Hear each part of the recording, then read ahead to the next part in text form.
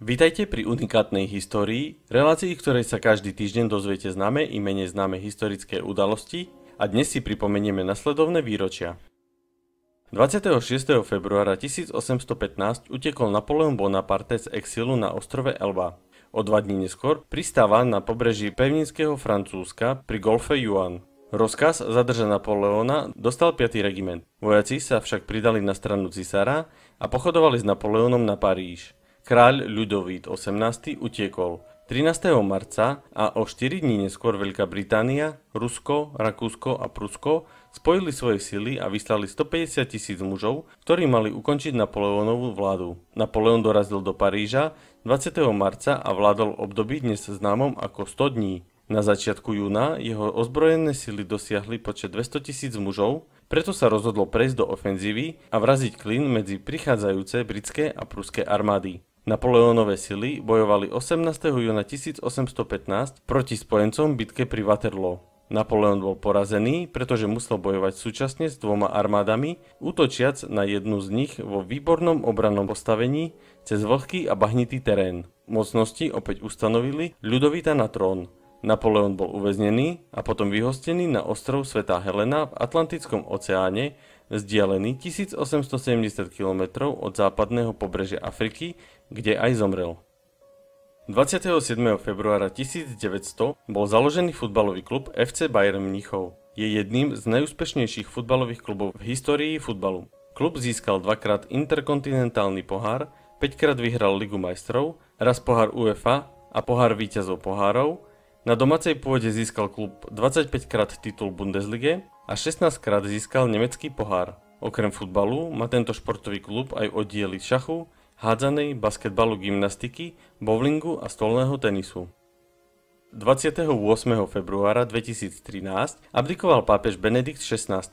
Išlo o prvú abdikáciu pápeža od roku 1415, kedy abdikoval pápež Gregor XII. Svoju rezignáciu oznámil kardinálom 11. februára 2013 na verejnom konzíliu vo Vatikáne, ktoré bolo zvolené, aby boli predstavení blahoslavení, ktorí majú byť svetorečení. Ako hlavný dôvod uviedol, že vzhľadom na svoj vek nemá dosť síl na riadne vykonávanie svojho úradu. Vo vyhlásení určil za okamih ukončenia svojej služby 28. február 2013 o 20. hodine. Svojim rozhodnutím prekvapil i svojich najbližších spolupracovníkov. Po opustení úradu pápeža je jeho oficiálny titul jeho svetosť Benedikt XVI, emiretný pápež, prípadne jeho svetosť Benedikt XVI, emiretný pontifik rímsky.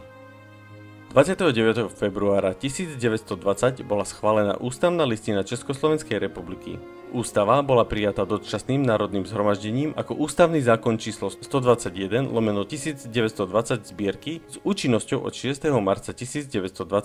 Ústavná listina sa skladala zo šiestich hlav, a to prvá hlava Všeobecné ustanovenie, druhá hlava Zákonodárna moc, zloženie a pôsobnosť Národného zhromaždenia a jeho oboch snemovní, tretia hlava vládna a výkonná moc, štvrtá hlava sudcovská moc, piatá hlava práva a slobody ako aj občianské povinnosti, 6. hlava ochrana národných náboženských a rasových menšín. Podľa paragrafu 1 odsek 1 ústavnej listiny je ľud jediným zdrojom všetkej štátnej moci v Československej republike. Ústava definovala Československú republiku ako demokratickú republiku. Jej hlavou bol prezident volený parlamentom. Bola historicky prvou ústavou, ktorá umožňovala všeobecné volebné právo na území Slovenska pre všetkých obyvateľov.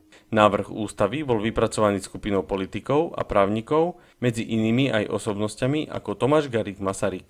Po odbornej stránke na jej vznik dohľadal profesor Hoecel, po politickej Antonín Švehla, nazývaný aj otcom ústavy.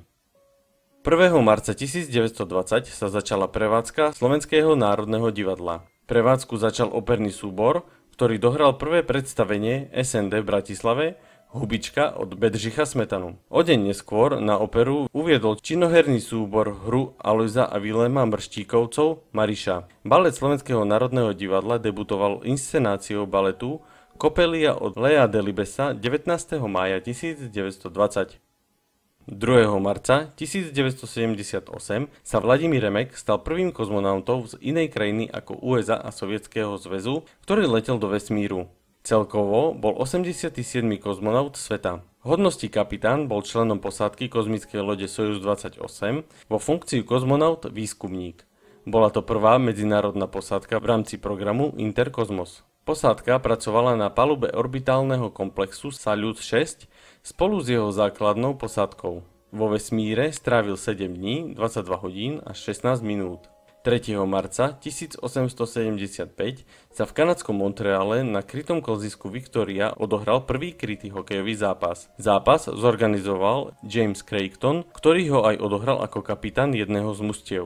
Mužstva mali po 9 členov, hokejky boli dovezené z Nového Škótska a počas hry sa používal drevený puk. Zápas je považovaný za prvý organizovaný hokejový zápas vôbec a položil základ moderného hokeja. IIHF uznáva Viktorino kolzisko za rodisko hokeja.